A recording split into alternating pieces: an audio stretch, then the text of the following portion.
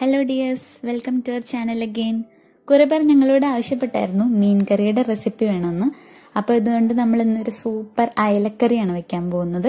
നല്ല കുടംപുളിയൊക്കെ ഇട്ട് വറ്റിച്ച് നല്ല സൂപ്പർ മീൻകറി.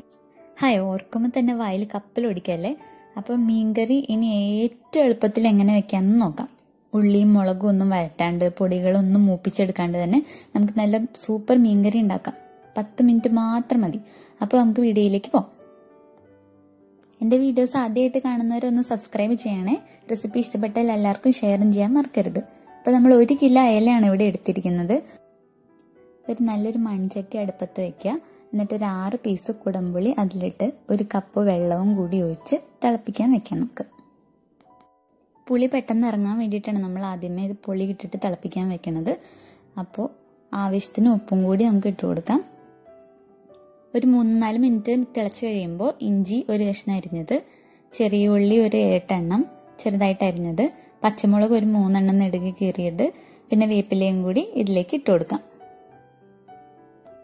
ഈ കറി ഉണ്ടാക്കാനായിട്ട് ഇതൊന്നും മൂപ്പിച്ചെടുക്കേണ്ട ആവശ്യമില്ല. എല്ലാം പച്ചയ്ക്ക് തന്നെയാണ് ഈ പുളിവെള്ളത്തിലേക്ക് നമ്മൾ ഇട്ട് കൊടുക്കുന്നത്. ഇനി മൂന്ന് സ്പൂൺ കാശ്മീരി ചില്ലി പൗഡർ ഒന്നര സ്പൂൺ മല്ലിപ്പൊടി ഒരു സ്പൂൺ മഞ്ഞൾപ്പൊടി ഇത്രയും ചേർത്ത് മിക്സിയിലൊന്ന് നമ്മൾ കുറച്ച് വെള്ളം ചേർത്ത് അരച്ചെടുക്കാം. അങ്ങനെ എടുത്ത പേസ്റ്റാണിത്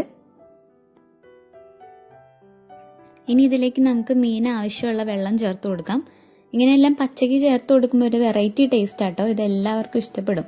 വളരെ ഈസിയാണ് താനും അപ്പോൾ കപ്പയുടെ കൂടെയൊക്കെ നല്ല സൂപ്പർ കോമ്പിനേഷനാണ് ഈ കറി. ഇനി ഇതൊന്ന് തിളച്ച് വരുമ്പോൾ നമുക്ക് മീനൊക്കെ ഇതിലോട്ട് ഇടാം.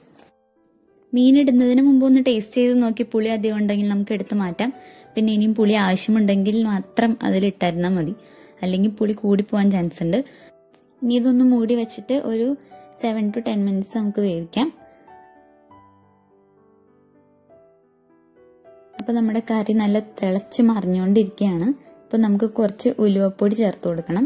ഒരു ടീസ്പൂൺ ഉലുവ പൊടിച്ചതാണ് നമ്മൾ ചേർത്ത് കൊടുക്കുന്നത്. അപ്പോൾ നമ്മുടെ കറി ഇവിടെ റെഡിയായി വന്നിട്ടുണ്ട്. ഇനി മീതെ കുറച്ച് പച്ച വെളിച്ചെണ്ണയും കൂടി ഒഴിച്ചിട്ട് നമുക്ക് ഫ്ലെയിം ഓഫ് ചെയ്യാം. ഇനി ഒന്നും വേറെ നമുക്ക് ചേർക്കാനില്ല. മണം അടിച്ചിട്ട് വായിൽ വെള്ളം വരുന്നുണ്ട്. ഇനി ഇതിൽ ഈസി ആയിട്ട് മീൻകറി വെക്കാൻ പറ്റില്ല കേട്ടോ. അപ്പോൾ നമ്മൾ എല്ലാവരും ഈ പച്ചയ്ക്ക് എല്ലാ സാധനങ്ങളും ചേർത്ത് വെക്കുന്ന ഈ മീൻകറി ഒന്ന് വീട്ടിൽ ട്രൈ ചെയ്ത് നോക്കണം. അപ്പോൾ ഇതുപോലെയുള്ള ഈസി ആൻഡ് സിമ്പിൾ റെസിപ്പീസ് ആയിട്ട് നമുക്ക് വീണ്ടും കാണാം. ചാനൽ സബ്സ്ക്രൈബ് ചെയ്യാൻ ആരും മറക്കരുത്. By dears